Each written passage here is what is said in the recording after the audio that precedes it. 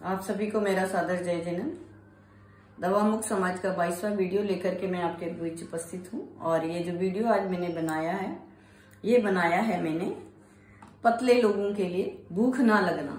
बहुत, ये आजकल बहुत कॉमन प्रॉब्लम है, जैसे लड़कियाँ हो गई है बीस बाईस साल की है, या जैसे लेडीज़ भी हैं बहुत सारी, उनको भूख नहीं लगता, उनको कुछ खाने का मन नहीं करता है ना? तो जो ऐसे लोग या जैसे छोटे बच्चे हैं, चार पाँच साल के, छह साल के, उनमें भी ये कंप्लेंट्स बहुत आम रहती है कि ये कुछ भी नहीं खाता है। तो ऐसे लोग जिनको भूख नहीं लगती है, उनके लिए आपने क्या करना है? सबसे पहले आपने जो काम करना है, वो है डाइजेशन के लिए दो तीन ऑर्गन्स जो हैं, वो बहुत ज़्यादा रिस्पॉन्सिबल है आपकी भूख की ना लगने के लिए। उनमें सबसे पहला है आपका स्टमक दूसरा है आपका लीवर और तीसरा है आपकी इंटेस्टाइन तो सबसे पहले हम देखेंगे कि ये तीनों ऑर्गन्स कहाँ कहाँ पे है। ये सारा हिस्सा जो है आपके स्टमक का है।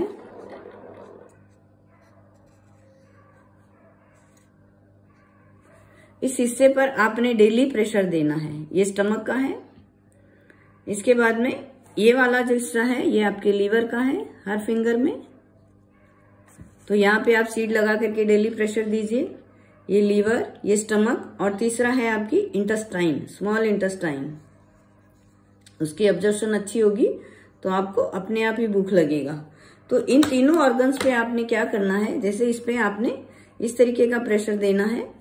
आप चाहें तो सीड भी लगा सकते हैं और आप चाहें तो इसी प्रेशर को इस फिंगर पे भी दे सकते हैं, इस पे भी दे सकते हैं। किसी भी एक फिंगर पर बिल्कुल ये जो लास्ट वाला जॉइंट है, उसके सेंटर में आप यहाँ पे स्टमक के लिए प्रेशर दे सकते हैं, लीवर के लिए यहाँ पे ये ये सारा हिस्सा, ये सारा हिस्सा, इन चारों में से एक एक एक एक दिन आपने चारों फिंगर पे घूम जाना, अगले दिन फिर इन चारों पे घूम जाना है, ये आपका लीवर है यहाँ पे इन सारी फिंगर्स में तो इस पे प्रेशर दीजिए।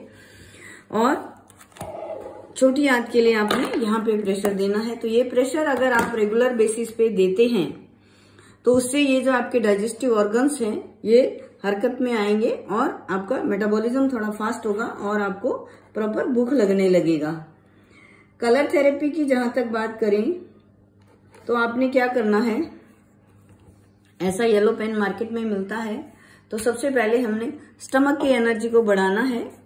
तो ये एक येलो कलर का लाइन आपने यहाँ से खींचना शुरू करना है। इस तरीके से नेल तक आना है। येलो लाइन नीचे से लेके ऊपर तक। ये आपने डेली खींचना है। दूसरा काम आपने करना है।